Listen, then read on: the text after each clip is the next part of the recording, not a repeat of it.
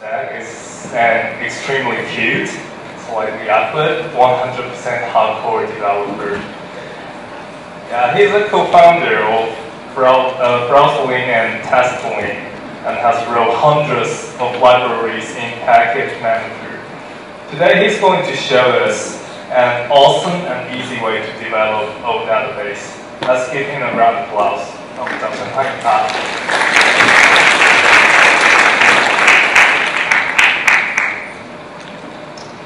Hello. Right. So today I will be talking about a micro database or micro databases. So what do I mean by that? Um, apologies first of all for the lousy translations. Um, and also I only could find a simplified D data set which will become relevant later in the talk. So I wrote the program that generates these translations, that's why they suck. Um, so first of all, let's let's cover a little bit of, of background to give this talk some context. So I'm a big fan of this. It's the Unix philosophy. There's a lot that's been written about it, but you can simplify it all down to when you make a program, make your program do just one thing and make sure that your program does that one thing well. So instead of trying to build a program that does a lot of things, or instead of taking an old program and adding feature after feature after feature, just make a new program. Make a simple program, and make a program that you can combine with other programs. So there are these principles in Unix philosophy. These are these are some of my favorites. So modularity, of course. Um, this is about how you can build a program that the input of one program becomes, or sorry, the output of one program becomes the input of another, so you can stack programs in long pipelines that achieve some complicated task using simple components. Another good tenet of this philosophy is composition. That is, it's similar. You should just make pieces that you can recombine.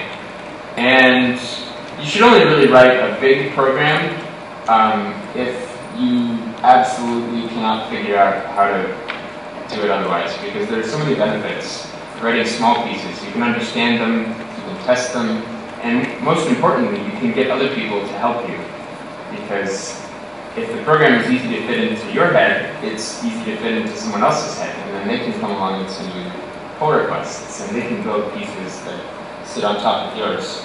So one of my favorite databases in Node.js is this thing called LevelDB.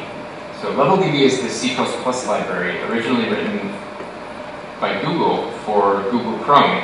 It's what powers IndexedDB in browsers. And it's a really small embedded database, a bit like SQLite, but it's just a simple key value store. But there's more. So um, you have the basic stuff that you might expect from key value store. You can get keys, put them, delete them, and you can create atomic batches. But the most important part is this thing called create read stream. What this lets you do is you can specify ranges for the keys to appear in. So for example, if you want to, say you, in your database you have all of the letters of the English alphabet, A through Z. And with create read stream, you can specify like greater than M and less than Q. And that'll give you a set of letters between those two values. So what does LevelDB even look like? So the cool thing about LevelDB is it's really, really easy to get started. So all that you have to do, is create a new file, require level after you've npm installed it, and then you just give it a path. So call level with a path, so like db test.db, right? And that path can be anywhere in your file system. So now we can do things like db.put, foo, and then a value, like bar. So if we run this program, it will just exit. But what it's done is it's actually created a value there. So now if we comment out our put and do a get, we can now get the value that we just put. So we get a standard node style callback with the result. So I'll just print out both the error and the result, and I'll run it like so. And cool, we get the value back. that we put in previously, so there's persistence here. Um, what's really cool though is if you have some data. So here, I've got some data in this file called data.json. So I've got dog, cat, horse. Those are my keys and some numeric values. So using LevelDB, we can use that method that I mentioned, uh, db.batch, to insert them all. So here I can just require data.json. Now I can give a callback that's a standard error, error back, and I'll just ignore the error for now. And so once our data has been inserted into the database, we can use to click edit. So here I'll just get horse to make sure that it worked. So do that with your value, console.log value equals value, like so. Cool. So now if I run the database, all value is undefined. Oh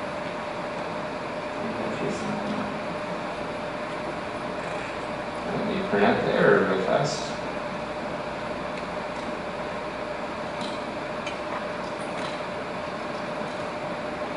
Oh, not found. Okay, so apparently the horse is not in our data set. Ah. Let me try the cat. Oops. You look a cat. That should work. Anyways, this being strange. I'm not gonna mess with this too much though. If it doesn't work, we can move on. key value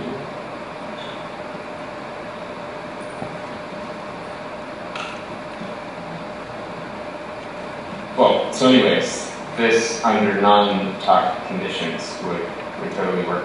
Um, actually, so we can use something to test this now actually. So why don't I just create a read stream um, because we've already inserted that into the database and I'll not give it any parameters, and this should tell us all of the data in the database. It's probably something silly. Okay, cool. Oh, so it's not actually doing batch insert for some reason.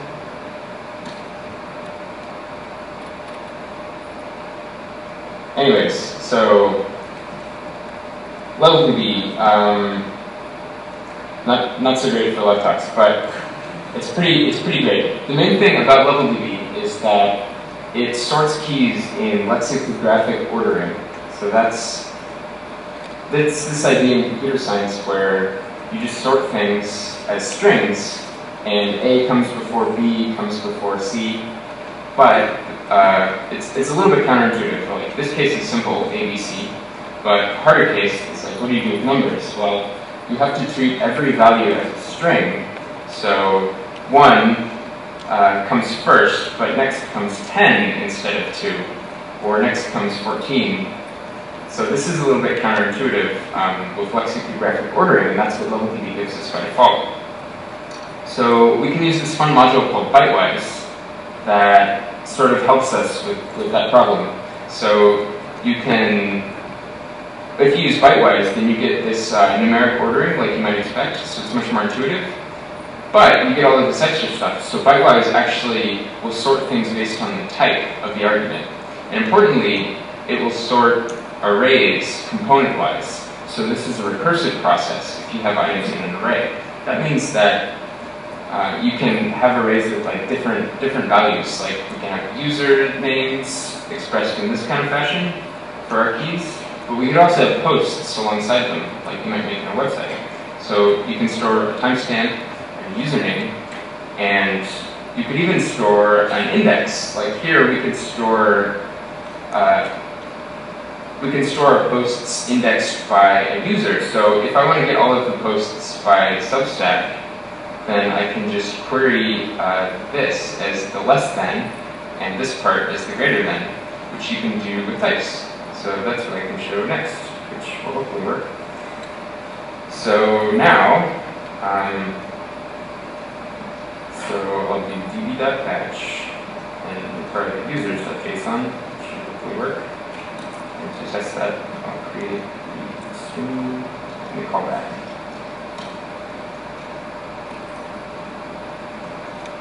On data, just to make sure that we have some data. So, That's not right. Okay, that's a good idea. Thank you, audience. Yeah.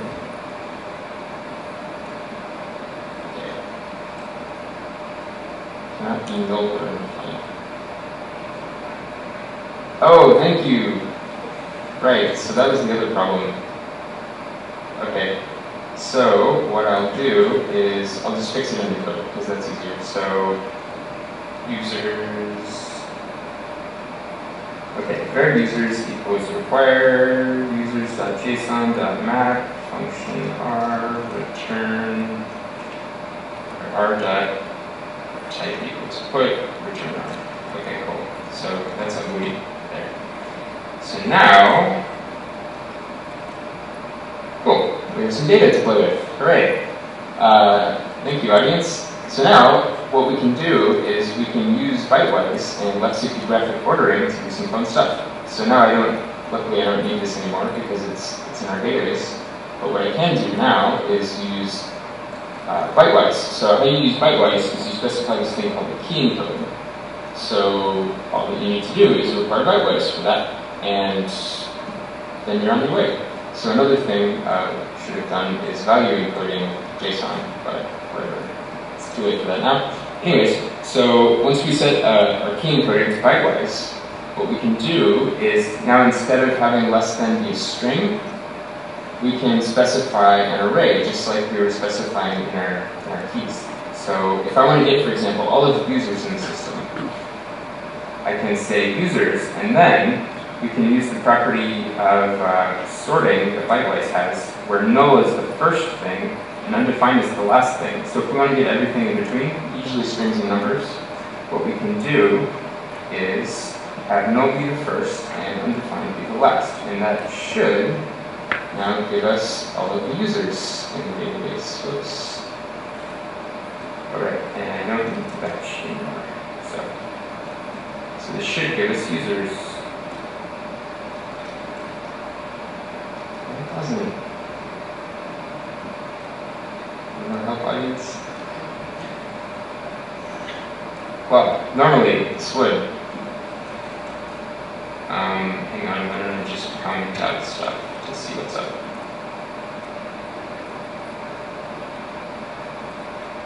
Ah, so I think I'm to nuke this database real fast because it's kind of important. So maybe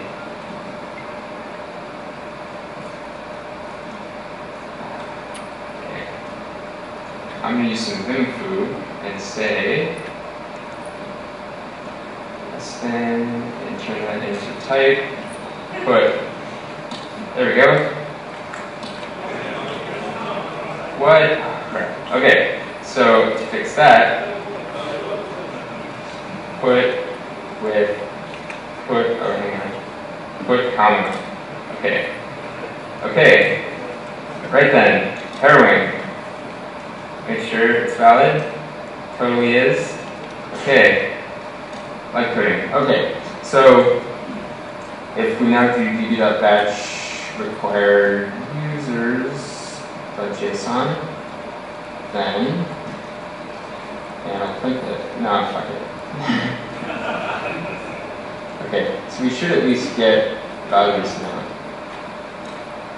Yes, we do. Great. So, now that I've fixed my talk, we can, we can proceed. So here we can get a list of users by specifying a greater than and a less than with arrays that lexicographically sort component-wise. So what that means is um, what does that mean? Uh, I just fixed it.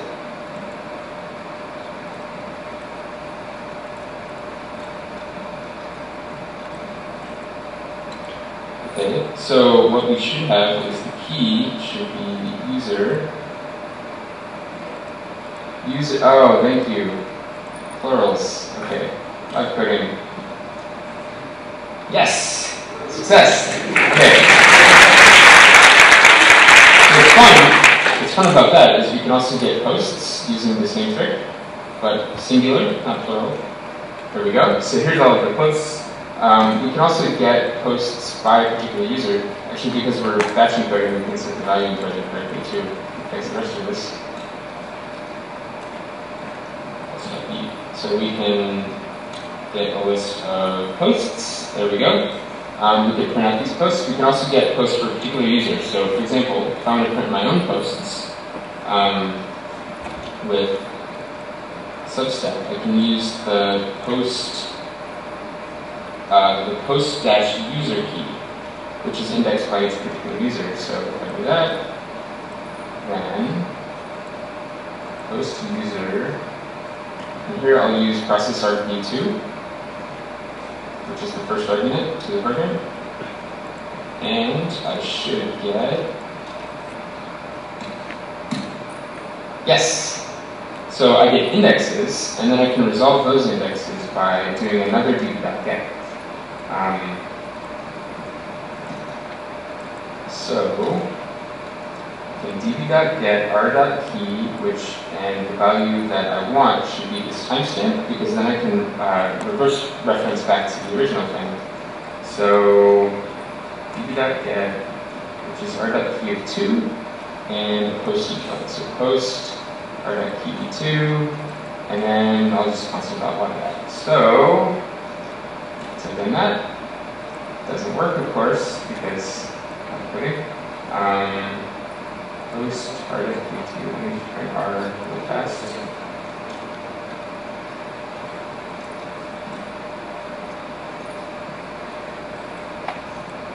Um, so there's no data. Oh, right, I've, I've forgotten to uh, specify an argument on the command line. There we go. Uh, so that document is not found. The reason for that is that actually the, the name comes at the very end. So we put the name in there too, which we're given on the command line. Then do all of this, exactly correct. Hooray, all of the posts by Substack, all of the posts by Dominic Tarr. Cool, this is the kind of thing that you get pretty easily in another kind of database. So why on earth would you want to write your database code in this kind of a way? Like, I personally don't, don't find it too problematic, but I can I can definitely see that it might be you know a, a bit you get you get less functionality out of the box completely for free. So um, so so why would you want to do this? There's there's a good reason. It's modularity. You get extreme modularity when you write your code this way because you can pass the database parameters around just like nothing. You can create this thing called the sublevel, where you can partition your database as much as you want. Um, and I'll, I'll, show that real quick. So if we want to create two databases, um, we can very easily do that by just requiring a module from NPM. So this one level sublevel, and there are hundreds of these modules. And we can wrap our database like this and do the key. So if we want to make like a user's sublevel, we can do that, and we can also have other kinds of data living alongside of it. Like for example, we might have an account system, but we might also have like a translation system or something wacky like that, which I'll get to. So uh, a nice thing about sublevel is you can also do nested encodings. So this is very nice when you're writing a package that you want to run in npm, because when someone passes you a database as an argument, you don't have to you don't have to communicate upstream to people who use your module that internally you're using a particular encoding, which is very nice. Um, so let's get into something even even wackier using using this amazing LevelDB technology for something very concrete. So I got all of this working yesterday, but there's this there's this very cool data set called uh, user share dixd. So there's this database called StarDict. Unfortunately, it's only uh, only simplified Chinese, but it's a Chinese to English database that's completely open source and liberally licensed. So there's a couple of files. There's an index file, and then there's a gzipped um, dictionary file. So print out, oh, gunzip. There we go. So here we have the Chinese, and the other file we have an index. So I wrote a program that takes that takes uh, index and the gzip dictionary file, which is that and that, and it cross-references them and then prints everything to standard out in a nice way. It's easy to parse. So here we're seeing all of the all of the words in from from our database and what all of the translations are. I have no idea if these are even reasonably accurate. Probably not, but whatever, close enough.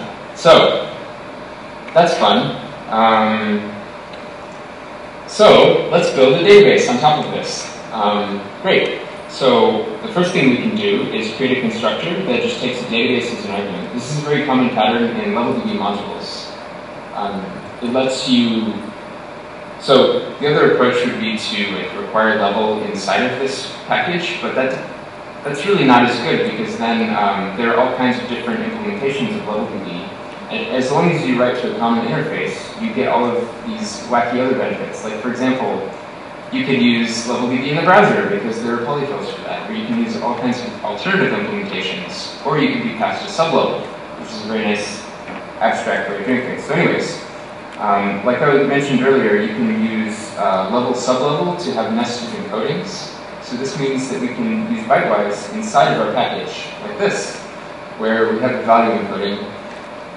And now we can start actually writing methods. So here I'll have a link function that will do dd.batch to insert some documents atomically. So we can have links. So this will map, um, so in this function we have parameters A and B. A is like the source language and, and word, and B is the, the destination language and word. So we can just create a link from language A to language B, and vice versa. So language B to language A. And that's pretty much all that we need to do to populate our database. So then to query our database, we can just use create read stream like I did before with uh, greater than and less than keys. So here uh, we'll take from a language and a word and to a language, and we'll use null and undefined to pick out a range. And then uh, we can just push these values to the output stream in our function. So our get function is a, is a readable stream and it produces output. So tying this all together, we can use the parse_dict um, package that I showed on the command line to pipe into these two files, the, the gzip dictionary and the index file. And once we've done all of that, we can then populate our database. So we can call dot .link with the source and the destination. And this is our entire import script. Like this is all that you need to write an import script for this data set. Then to query it, we can just call dot .get with our parameters on the command line. So this is all that you need to do to write an English to Chinese dictionary and vice versa if you have a data set. So let's do that. Okay, so here in the DB directory. Uh, so I've already run the import script because it does take a few minutes. But I've got a, a, get script, which is pretty much what I just showed you in the slide. And I can run that with, uh, you get it from, so I'll do English and 2 ZH, which is the code that I used when I populated it, I think. From, yes, into. Okay, cool. And then a word, like robot. There we go. Maybe this makes sense. Who knows? So, uh, we can also go the other direction. So we can go from Chinese to English with one of these words. Get robot. IntelliBox. I have no idea where that came from. It's in there. So cool. It, it only took us, like, these, these files are all fairly short, but most importantly of all, they're modularized. So this DictDB package is actually something that you can just install from npm and you can populate it, and it's completely separable. So all that you need to do is create a LevelDB instance, give it to this module, and then it will do what it does, is translate things very poorly. Um, but if you have a better data set, then it works much better. But that's kind of a silly, goofy example, but there are other kinds of examples that I think are more common and widespread. So I'll just talk about one of them. It's uh, a modular way to use user accounts for like a, a, normal website in a, in a modular fashion using LevelDB. So what we can do is just require level like normal, give it a directory for data, then we can require this package accountdown. The countdown just manages all of the database stuff correctly, but importantly, it, it has a pluggable interface for for inserting different kinds of login policies. So the most common example is basic auth, like username and password, and it does all of the hashing and everything properly, which is kind of difficult to do. But what's nice about packages in NPM is that we can compose our abstractions and just build upon what other people have made, which is really nice. I mean, that's mostly what programming I think should be about. But what's cool too is that we can plug in different policies if we want later. I haven't written these, but somebody else could eventually. Um, so you can have like GPG, asymmetric crypto, or like maybe an RFID plugin. It's, it's all quite simple. And then all that you need to do is you just create uh, an account like this with a uh, you know, username, password, and value if you, if you want. We can list things, uh, and when you have challenges, like when you have a, a, an HTTP route like that handles post requests, you can just call this function, users.verify, and pass in credentials, and it'll tell you if it worked or not. Great. So the other, the other part, before I show a demo, is this thing called Level Party. This is something that I wrote that sits on top of LevelDB. And normally LevelDB, because it's an embedded database, won't let you open the same data set between two processes. But Level Party lets you do that by using this package called multi-level. And multi-level just sets up an RPC connection so that you can, it creates a Unix socket, so you don't have to worry about permissions too much. Um, anyways, once we've done all of that, we can tie in this, this other package called accountdown command. And so you start with the countdown and a, a database handle like normal, and then you can just require the package. So here I have a basic HTTP server, and it will just list the users um, on port 5000. So we just hide all that into this handle.js file, but then uh, if on argv we have the command users, we can pass all of the remaining arguments to this accountdown command package, and that handles all of the user permissions on the command line. So you can just manage all of the your user accounts from the command line or from like a, a REST endpoint if you want. So let me just show that.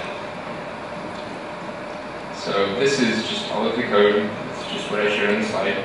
And we can first run a server. So this runs on 5000. So curl lowest 5000. We get an empty response. That's because I haven't populated the database yet.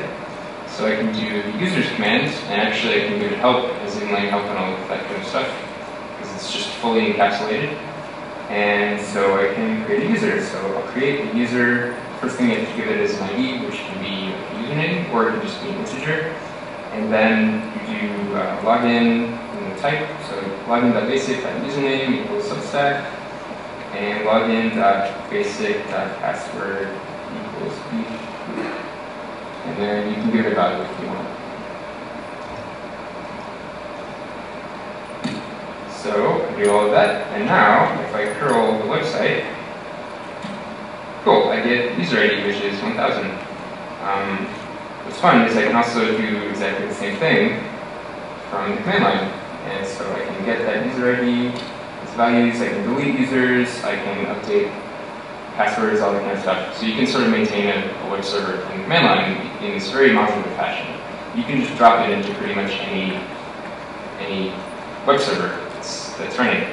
Um, so that's fun. Uh, another another good application of LevelDB is well, first of all, should talk about this this crazy approach called content addressable data. So I've written this little haiku that describes it pretty well, I think. The haiku goes, key of document is the hash of its content addressable blob. Um, what this means is that when you create a document, instead of giving it an arbitrary key, you give it the hash of the content. So you could do something on the command line. So you like you create a document. Maybe it's just a message that says hello, So instead of saving that under key like message or hello or something, you save it under a hash like a SHA-SUM. So this would be that message's name. And this has all kinds of neat properties because if you know the hash, then you sort of implicitly know the content. Um, so, and I used the translator on that haiku. I have no idea if that makes any sense. Probably not, but it's probably funny. So, uh, demo. So, luckily, there's a pretty nice module um, in Node.js called Content Addressable Blob Store that lets us do this kind of stuff. It's actually written by Matthias over there. So you require content addressable blob store, is a mouthful, and uh, then you make a new store just by giving the blob store a path. So like temp blog. And now we can store create write stream, um, which returns a writable stream, and then we can listen for the finish event and print out what the key is. So if we console.log w.key, we'll get the value. And so if I, if I type standard in into our writable stream, then I should be able to save the document. So blog.js. Cool. So you a blog. Um, and why don't I create another one? Hello, Taiwan. Cool. So I get another document. So now to read these back out, um, we can get rid of our writable code now and do store store dot create read stream and set the key to the uh, process argv2. And so now we can type this to out. So now we can read some keys. So the first one beep boop, and the second one. Hello, one. Cool, so it works. Um, this is a really powerful approach when you use something like LevelDB you have attachments. So instead of having the database handle all of that for you, you can just very easily bolt it on yourself when you need it. And what's good is that this module, Content Addressable Blob Store, uses this thing called Abstract Blob Store, and there are wrappers for all kinds of things like S3 or other kinds of storage mechanisms on top of that basic interface. So it's very easy to, to like plug and play different kind of stuff. But also, the really cool thing is that uh, replication, and in particular multi-master replication, that is notoriously difficult in most databases, is fairly trivial to implement when you have a content addressable store. This is because you can just you have two parties who want to replicate data, you can just send all of the hashes that either side has to the other, and then you can do replication. So let's do multi-master replication in some, some one-liners. Okay, so I wrote a module pretty recently called Hash Exchange that just does the first part, which is exchanging hashes. And what this looks like is, first of all, we can just create some messages. So here, these are just going to be from, from the arguments on the command line. And we're going to take, the key will be the SHA-SUM, just like the content addressable store, and the message is the value. So we can just now require the hash exchange module, and the hash exchange module takes a callback that should, um, it should return a stream that will look it up. So you could very easily stuff in a content blob store in here if you wanted, but for now we're just using a thing in memory. So the next thing you can do is you can call provide to tell the other party what keys you have. And then you get an event called available that tells you what, what keys you can fetch from the other party. So if you want to get them, you just call request. And that's pretty much all you need. So, and then um, you get a response event when the hash has been exchanged. So this is all that you really need to do to do the first part of multi-master replication with blob stores and content addressable data. So, and of course you need to hook up the wiring. So here I'll just type standard in to the hash exchange stream to standard out. So what does that look like? Um, so here I've, I have that exchange file that I was showing you a moment ago.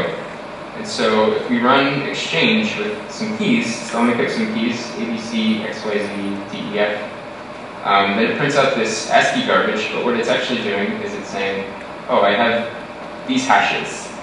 So the problem is um, in Bash it's a little bit hard to to pipe one program to another program and then back again. So I have this little little module called uh, that runs on the command line to do that. So this will pipe the standard out of the first program to the standard in of the second, and it pipes the standard out of the second program to the standard in of the first, which is on my shirt.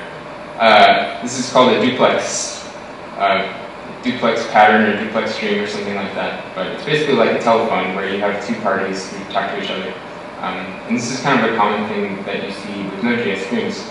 Anyways, we can do this on the command line, uh, which is nice because now we don't have to set up any kind of um, like web server, TCP server, something of that sort. So now if we give, so if we give the second command some of the keys of the first, but not all, and some keys that it doesn't have, now they'll trade hashes, and as you can see, um, the second program got the hash of XYZ, and the first program got the hash of GHI, which is what it was missing.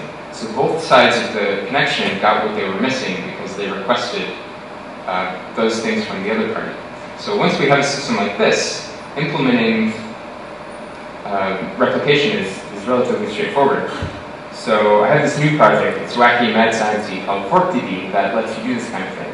So this is a forkable offline first data store built on LevelDB and Bytewise and all these kinds of abstractions that I've been talking about.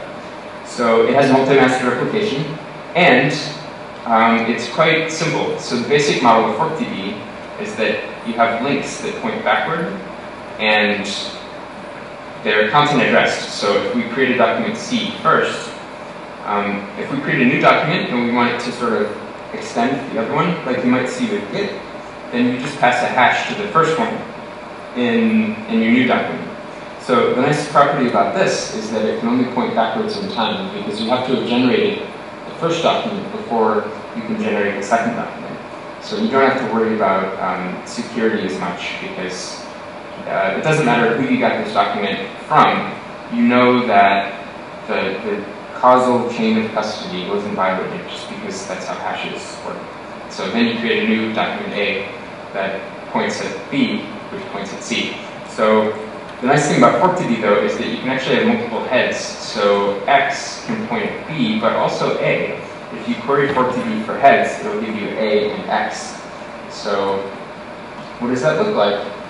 Sure time? Yeah. So uh, here I have it running locally. So I'll a directory, which is a, a LevelDB directory, um, and, and uses content blob store too. So I'll it temp A, and I'll say create uh, yo, and then I'll type some data to it. So hey yo, and created, and here's our hash. So now, if I do get, and that hash there we go, cool. So the other thing is, um, see. So now I can create a new document that links to the previous document by doing create.hash equals that hash and create.key equals the key. So now, maybe I'll make it capitalized. Yee.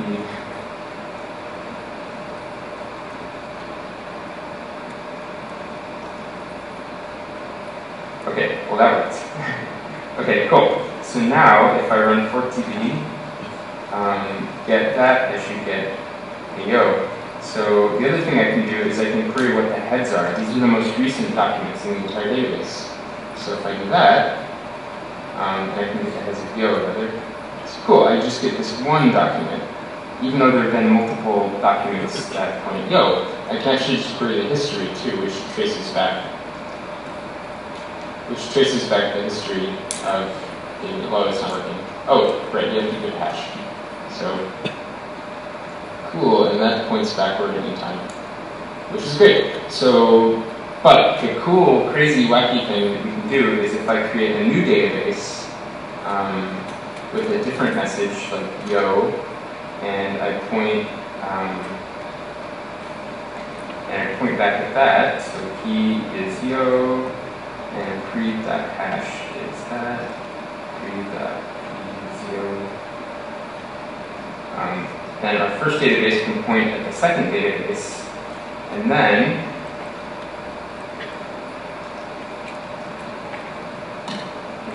in standard in. So once we've done this, now we can run replication. So I've implemented this as the sync command. So if you sync, it uh, prints out stuff using hash exchange. So we can take two of these commands and actually replicate them with one another. So we can take A, pipe that into B, like so, sync. Okay, so cool. So now we have the messages from the second database in the first,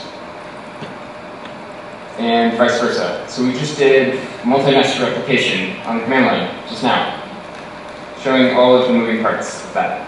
So what I want to do with this basic idea is create this thing called WikiDB. Um, and I just made the project on GitHub just about 20 minutes ago. And this will be, well, this is something that inherits from ForkDB. It just adds adds a few features like timestamps that you need to uh, do to make uh, an offline first distributed wiki.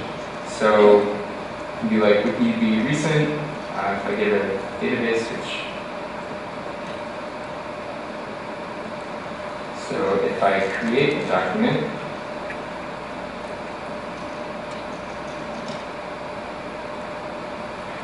now I can create a recent changes feed. So we have this really fun thing in Oakland called OpenWiki that I think is really fun. But the best part about it is you can see what everybody else has done on the website using this thing called recent changes. So I want this kind of thing for doing better programming documentation.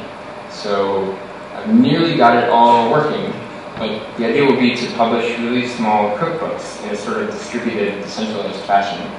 And then people will be able to to use these recipes um, offline on their computer. So they'll be able to just query their local index, figure out all of the cookbooks that they have locally, make edits and fork them.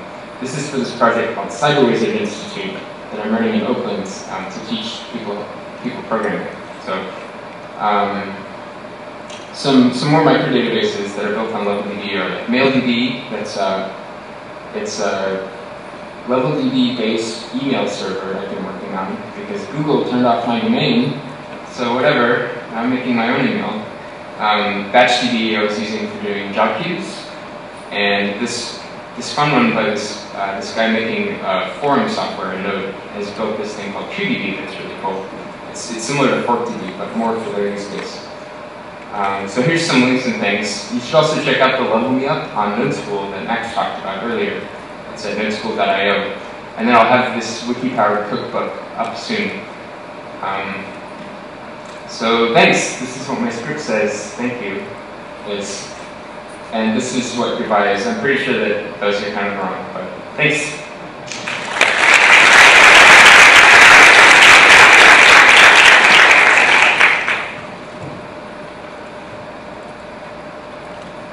OK，好，那非常精辟的讲解。那有人有问题想要就是 what substack.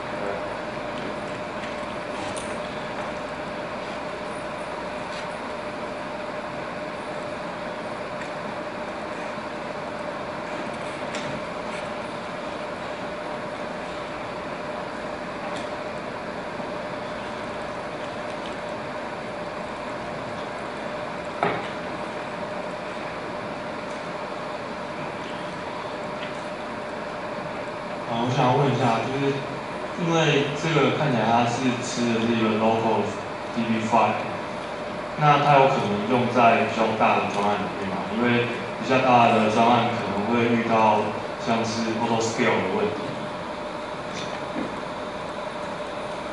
Um, so I cut the last part. So you're asking. I'm asking about that.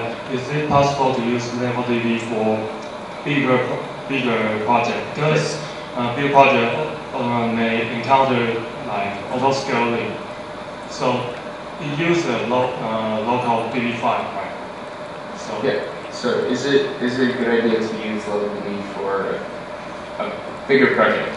Um, well, I don't know. Maybe it, it really depends on what kind of project it is. I think where LevelDB really is good is a good approach is when you have a pretty well-defined problem and you need to take that problem and sort of encapsulate the parts. So I think level LevelDB is a good fit for if you have a lot of services and they need simple things like a caching system or like even a user account system. You just have LevelDB doing just that thing and just that one thing doing it well, then it can be a really good fit. Like probably aren't going to have have replication issues if you're just having user accounts because those are pretty simple If you store all of the rest of the data on different systems like content addressable stores or like some sort of elastic storage system.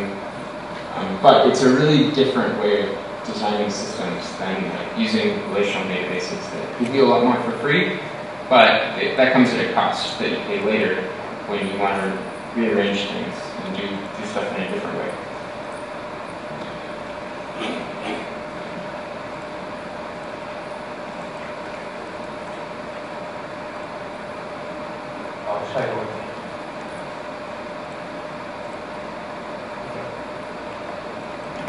I want to ask is about how LevelDB performance? Oh, how is LevelDB performance? Yeah.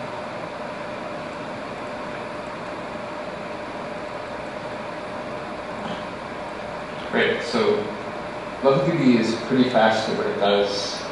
Um, I don't know exact figures, but it's pretty comparable with like so what LevelDB is most other databases have something inside of them that that's approximately what database what LevelDB is itself.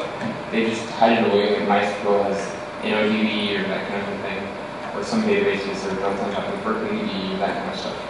Um, LevelDB is actually used inside of Riak and I think some other databases, but it's, it's more that it's a lower level primitive that you're dealing with instead of having that abstracted away behind other layers, which has benefits in terms of modularity, and in terms of like expressive power, but it comes at a cost of like, it's harder to do some sorts of things. It's, it's, you have to figure out what modules you need to like glue together to do something instead of having an easy, ready to go solution. I think it's the biggest problem. Because the performance is pretty much the same as you would get elsewhere.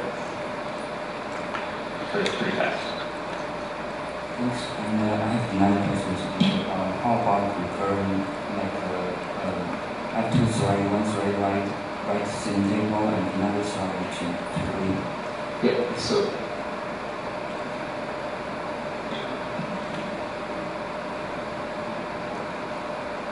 So LevelDB is single process only, um, but you can use other abstractions like you can use RPC to access LLDB from multiple systems. Like one approach is multi-level, or like I showed in my talk, you can use the module level party that implicitly sets that up for you. Um, or you could use like a REST endpoint, but it sort of inherently exists on a single server.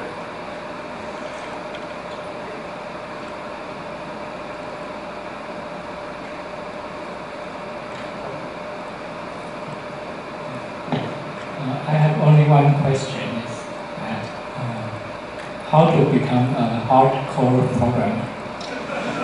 Become a hardcore programmer. Well, write write a lot of programs. That's what I would say. Oh yeah, and run Linux probably. That, that helps. Oh yeah. Well, not everyone can want to do it, but if you can, sure.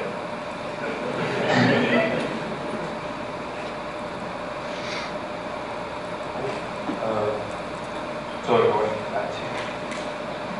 Uh, could be in remote sites or on your so you guys could use it on a remote site? Yes. Create a DB remote site, not only local. It's viable.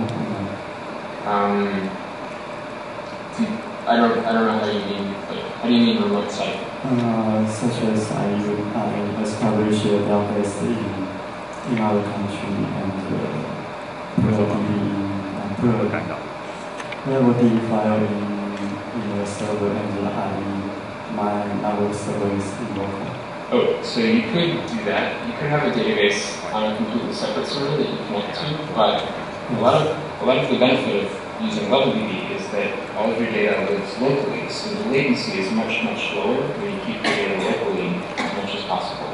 And what I would probably do is not have not access the, the database remotely, but maybe access the data through endpoints if you don't need all of it locally.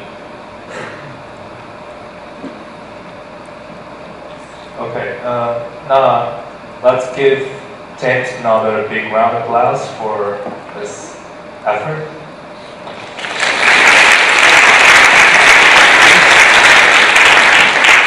Um, that pretty much concludes the overflow speeches, do you think?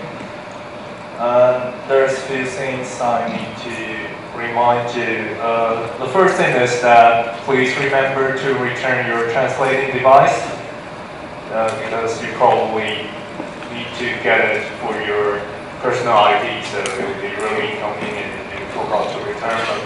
And uh, in case of lost and found, the lost and found section is located in uh, second floor, the registration counter. And also, if you want more about hardcore programming, please remember to come to the workshop uh, for EXTJS hosted by Stefan tomorrow afternoon.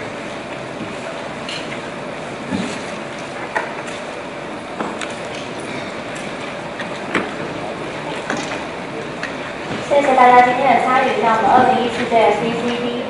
谢